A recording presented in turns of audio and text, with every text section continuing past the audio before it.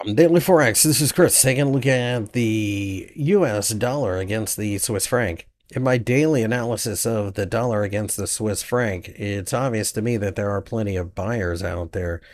All things being equal, short term pullbacks will more likely than not continue to attract value hunters due to the fact that the US dollar has shown itself to be so resilient.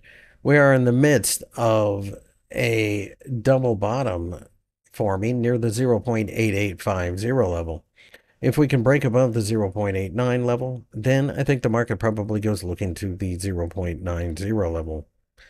The 200 day EMA is sitting right around the 0.8950 level. On the other hand, if we were to break down below the 0.88 level, then I think the US dollar really starts to break down. All things being equal, this is a market that I think continues to be very noisy, but the interest rate differential does pay you to hold this pair in dollars. Don't get me wrong, I don't necessarily think this is a massive shot higher just waiting to happen in the short term, but I do think we are in the midst of a bounce.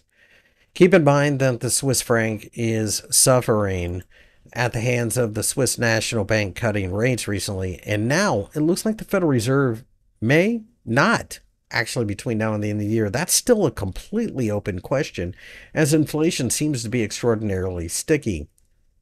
Even if they did cut 25 basis points, then the interest rate differential is just where it was a few months ago, and therefore you still get paid to hold this pair.